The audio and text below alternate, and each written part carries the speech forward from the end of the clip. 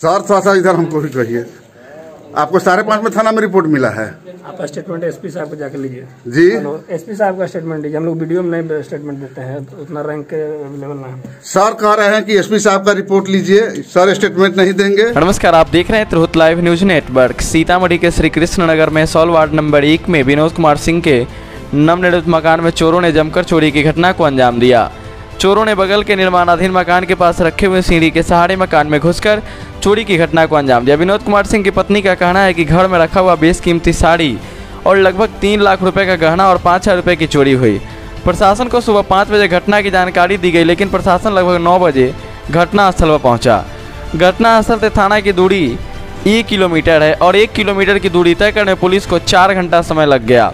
समझ सकते हैं कि कैसी है बिहार पुलिस। और जब हमारे तिरहुत लाइव न्यूज़ नेटवर्क के सीतामढ़ी ब्यूरो चीफ उमेश ठाकुर जी ने पुलिस वाले से सवाल पूछे तो उनके द्वारा कहा गया कि कैमरा पर बोलने की इजाज़त नहीं है हम लोगों को।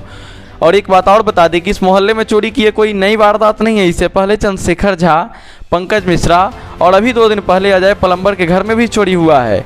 यह नदी किनारे का इलाका है, श्री कृष्ण नगर इधर पुलिस की गश्ती टीम आती ही नहीं है, जिससे दिन रात नदी किनारे नशेड़ी का सेफ़ जोन बना हुआ है। इस इलाके के बारे में हम अपने चैनल के माध्यम से इसलिए बता रहे हैं ताकि पुलिस प्रशासन इस प्रकार की लापरवाही ना करे और ध्यान दे। अगर पुलिस अपना नियमित गश्ती करना शुरू कर दे तो इस प्रकार की घटना आगे से हो ही नहीं पाएगी। और इससे पहले जो भी चोरी हुआ है उस पर आज तक किसी पुलिस ने संज्ञान ही नहीं लिया। आइए देखते हैं Tirhut live news network Sitamarhi bureau chief Umesh Thakur की ग्राउंड रिपोर्ट। सामान होगा पचास साठ हज़ार तक के सामान होगा। पचास साठ हज़ार तक का सामान है दो लाख का जेवर है। हाँ।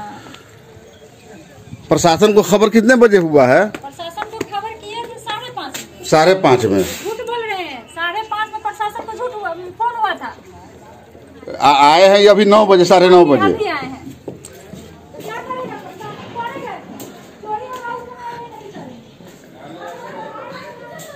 इस घर में चोरी की घटना को अंजाम दिया गया। अभी जैसे एस आई आए हुए हैं सीतामढ़ी से महसौल ओपी के एस आई हैं।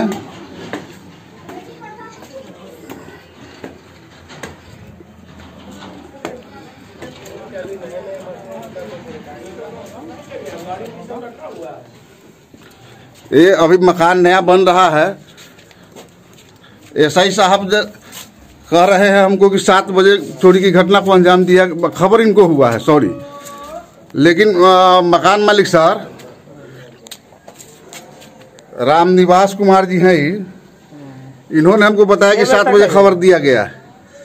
लेकिन मकान मालिक का नाम साढ़े पाँच में खबर किए हैं। सर थोड़ा सा इधर हमको भी कहिए आपको साढ़े पाँच में थाना में रिपोर्ट मिला है। आप स्टेटमेंट एसपी साहब को जाकर लीजिए। जी। एसपी साहब का स्टेटमेंट लीजिए। हम लोग वीडियो में नहीं स्टेटमेंट देते हैं तो उतना रैंक के अवेलेबल ना है। अरे तो आप आए हैं तो आपको जैसे जो इन्फॉर्मेशन मिला है।